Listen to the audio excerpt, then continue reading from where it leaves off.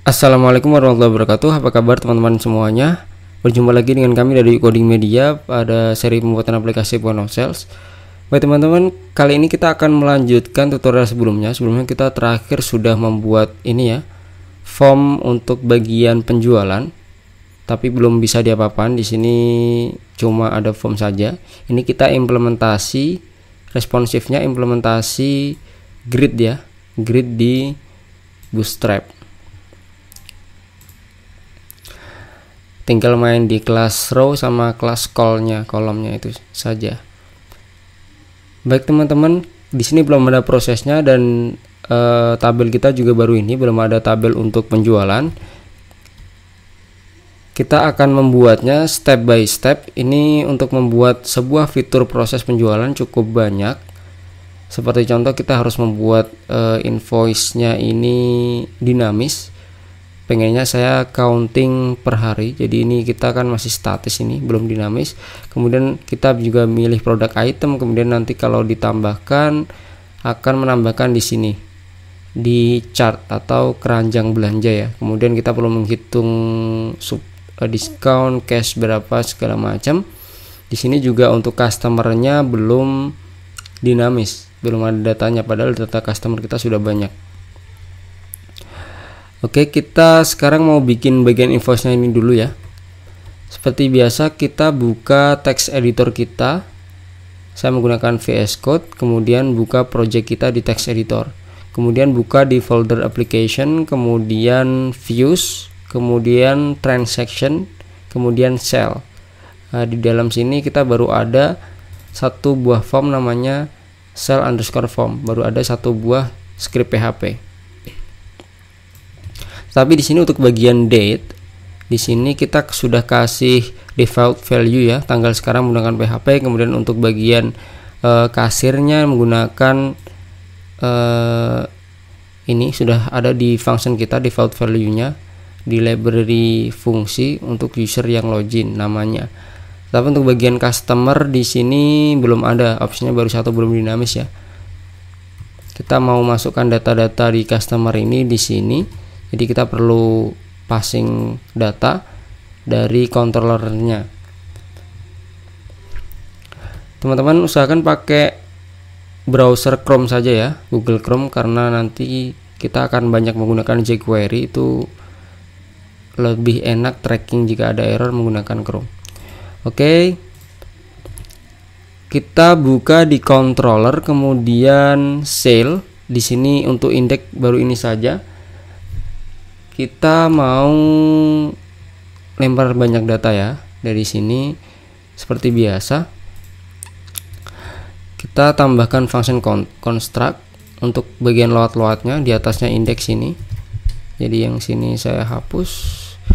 Kita mau load model penjualan tapi di sini belum ada. Kita bisa bikin dulu tidak masalah. Di folder models di sini belum ada cell ya untuk penjualan. Kita bikin new file cell underscore m dot php. Oke. Isinya untuk atasnya kita bisa copy dari tabel sorry dari file yang lain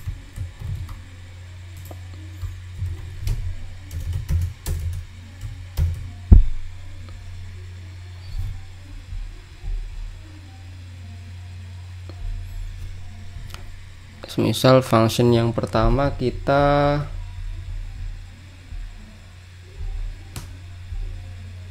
function untuk itu ya pembuat invoice-nya ya. Misal invoice nomor. Oke kosong seperti ini dulu. Ini sesuaikan dengan nama filenya. Cell underscore m Oke, di sini kita ganti loadnya menjadi sel M seperti ini ya. Saya tata dulu. Oke. Kemudian indeksnya ini belum lempar data sama sekali. Kita bisa lempar data customer. Ini mau di load di atas boleh, mau load di sini juga boleh untuk bagian customer. Di sini kan ada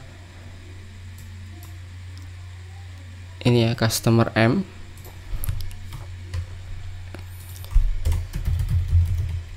Customer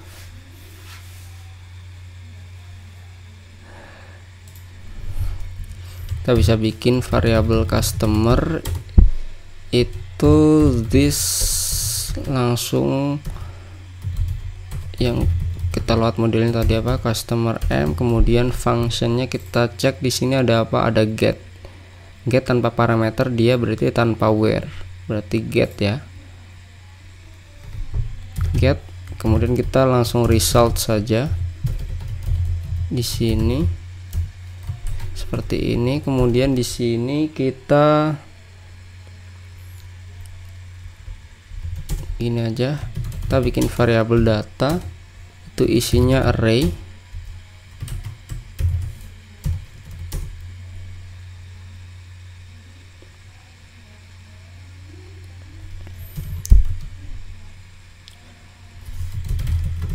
Customer isinya variabel customer dari atasnya itu. Kemudian kita mau lempar apa lagi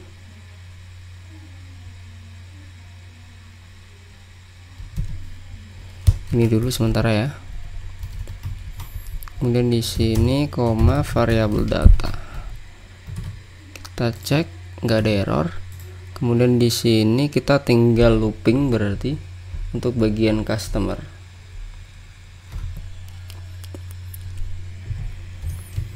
Kita bisa menggunakan sorry menggunakan for each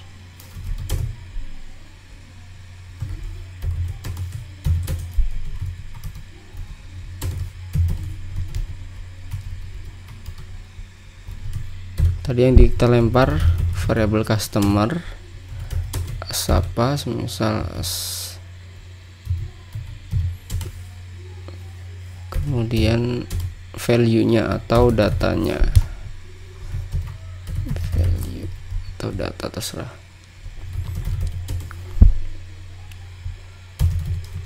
Kita kasih option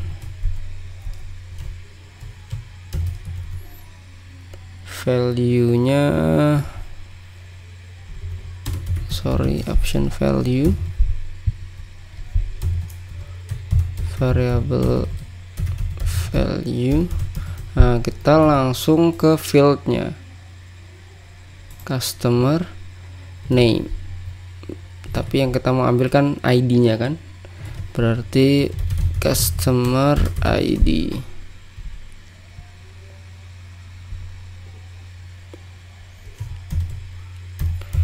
tutup optionnya tag option. Kemudian jangan bingung ya ini ya. Ini intinya kalau ada titik kemudian string kemudian variabel ini untuk menggabungkan antara string ini dan variabel PHP ini kemudian di titik lagi menggabungkan string ini gabungkan gitu aja. Kalau di JavaScript pakainya plus. Nah ini baru namanya ini menggunakan name fieldnya. Oke nggak ada error lah di sini udah muncul ya. Sudah muncul teman-teman customernya.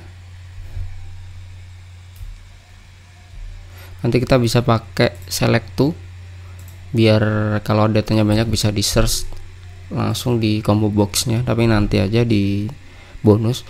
Yang penting sudah tampil kemudian kita mau invoice nya ini ya karena ini nanti invoice berhubungan dengan uh, kode di tabel penjualan jadi kita perlu bikin tabel untuk sell atau penjualannya. Uh, kira-kira fieldnya apa saja? Di sini kita create new table. T underscore sell gitu ya. Nggak aja ada 12 sesuai contoh. Yang pertama ada sell ID kemudian ada invoice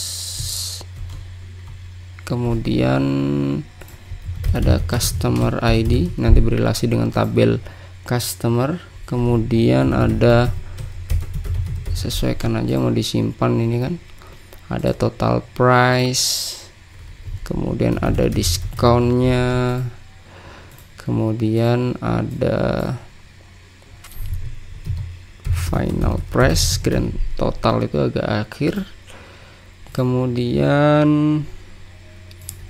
cash uang cashnya dia berapa bayarnya. Kemudian ada kembalian change atau remaining. Walaupun nanti di sini kita tulis change di sini kita remaining nggak masalah. Nggak harus sama kadang sama kadang nggak sama. Yang penting teliti aja sih teman-teman kemudian note catatannya atau keterangan. Kemudian date boleh kita simpan. Kemudian user ID-nya atau adminnya atau kasirnya. Kemudian create. Pas masuk database itu kapan gitu. Oke di atas ini lainnya kita biarkan kosong biar 11 nggak masalah. Ini auto increment otomatis dia primary key di sini ya auto increment dan primary key. Ini kasih varchar 50 cukup.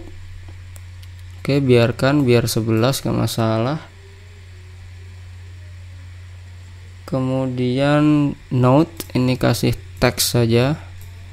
Kemudian date juga kasih date kemudian di sini kasih paling akhir itu date time dan kasih defaultnya current time stamp.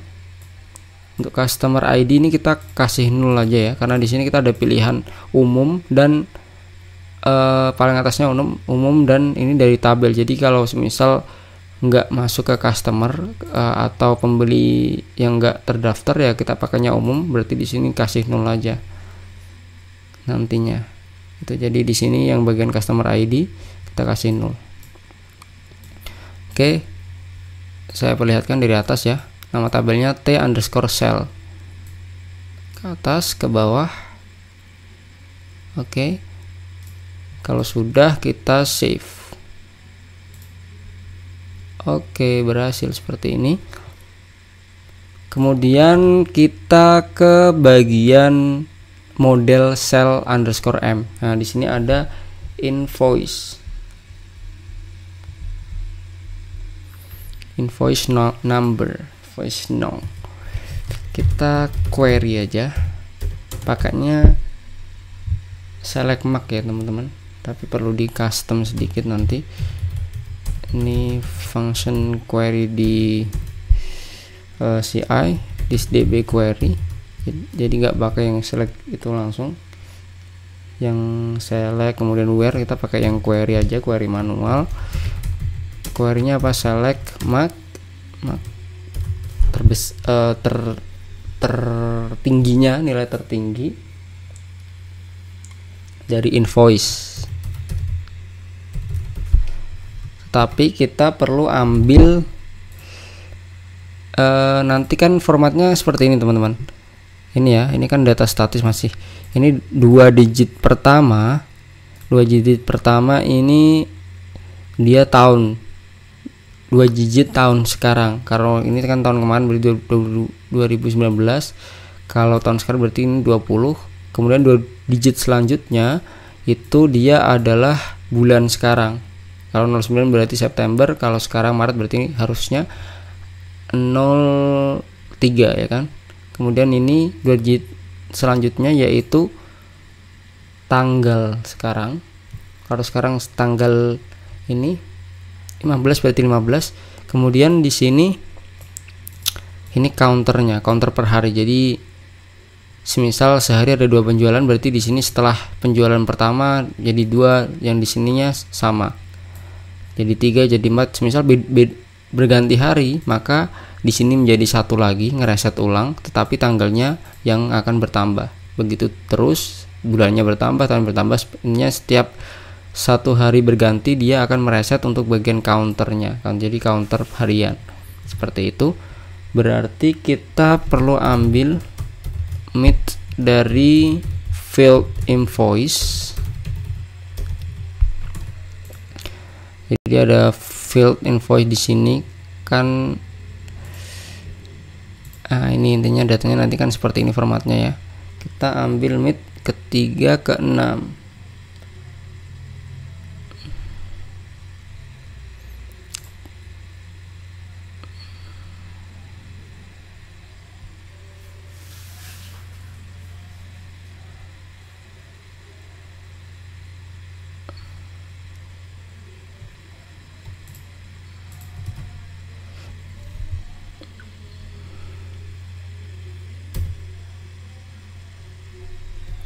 sembilan ke empat kosong satu dua tiga empat lima enam tujuh delapan sembilan.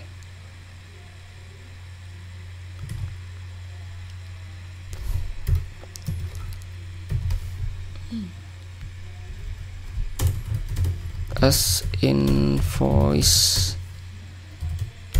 no. From tabelnya t underscore cell where-nya apa? Where? Kita ambil mid invoice.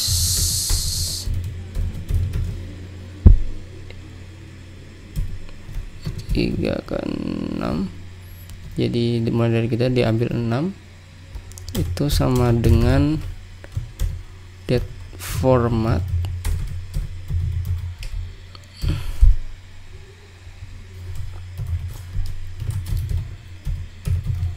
date ini berarti tanggal sekarang. Formatnya persen Y persen M persen D. Nah, formatnya seperti ini. Oke query nya cukup seperti ini saja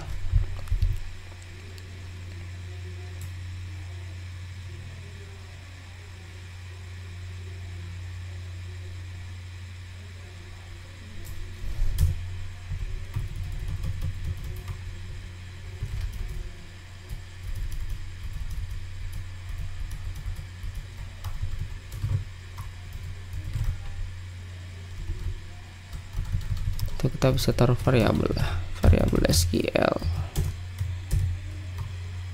titik koma. Variabel SQL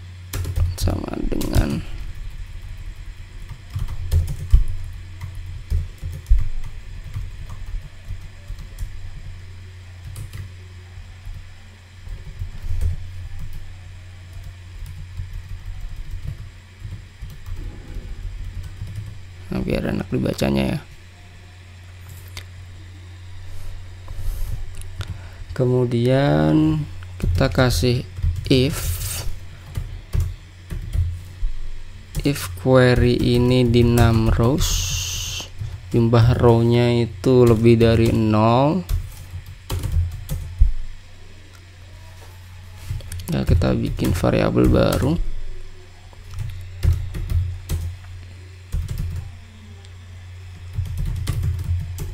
variabel r itu hasil query tadi di row diambil datanya.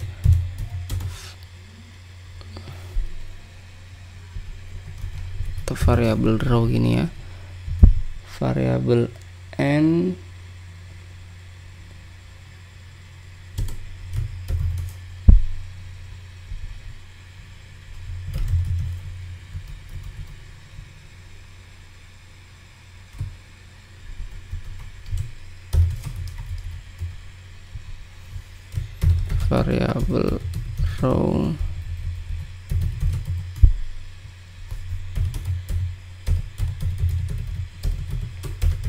invoice.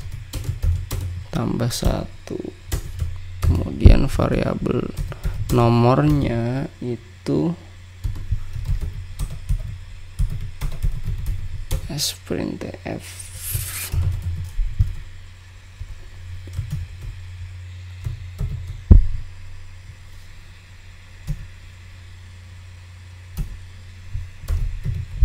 ini menambahkan nolnya sih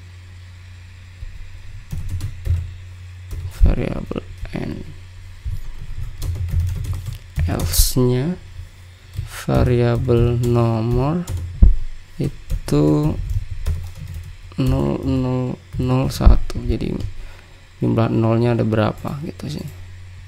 Dinamis. Kemudian variabel invoice. Nah ini baru hasilnya.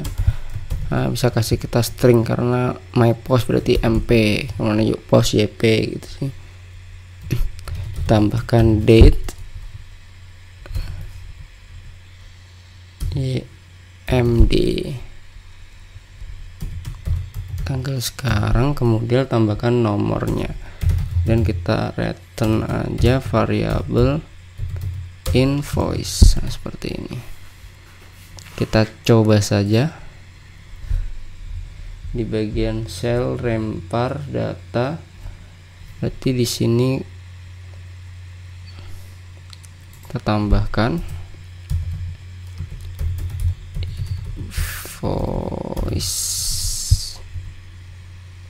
dari mana invoice? Dia dari this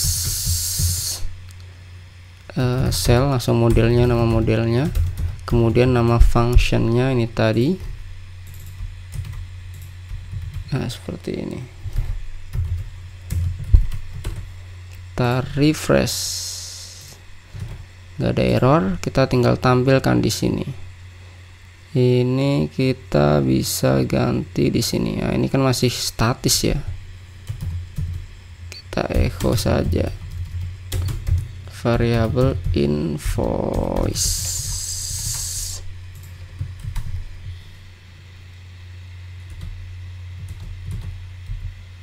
Sudah berganti teman-teman.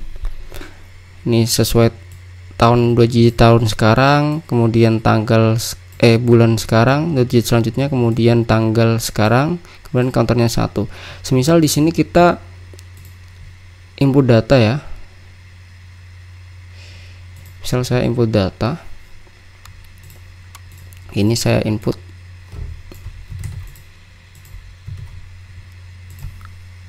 nah ini nol misal ngawur dulu nggak apa-apa ya. Karena belum kita bikin prosesnya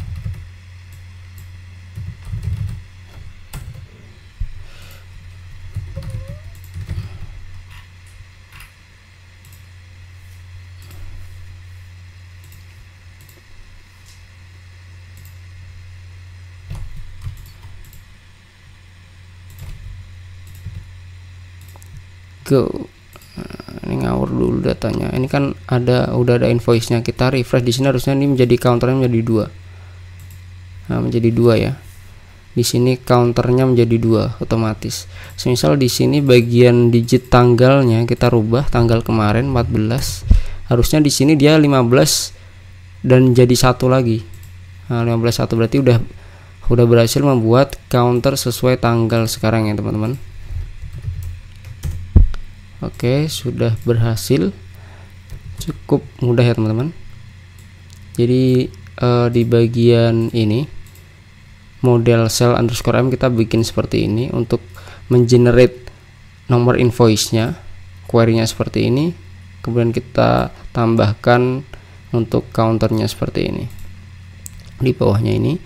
Oke, kemudian di cell kita lem, selain lempar customer kita lempar juga invoice karena di sini juga kita load modelnya. Oke kemudian di sini tinggal ditampilkan aja di echo. Ini kan sama dengan echo. Oke cukup sekian tutorial membuat dan menampilkan invoice otomatis counter harian ya. Sampai berjumpa di tutorial selanjutnya. Kita akan membuat uh, chart ini atau keranjang belanja ini menggunakan uh, jQuery dan Ajax. Kemudian baru itu menggunakan hitung-hitungannya jQuery baru mungkin nanti prosesnya disimpan baru cetak stroke. Jadi agak panjang perjalanan membuat fitur ini tapi tidak masalah. Kita step by step yang penting paham. Mohon maaf apabila ada kesalahan. Terima kasih banyak. Jangan lupa untuk subscribe channel ini. Terima kasih. Sampai berjumpa di tutorial menarik lanjut lainnya. Sorry. See you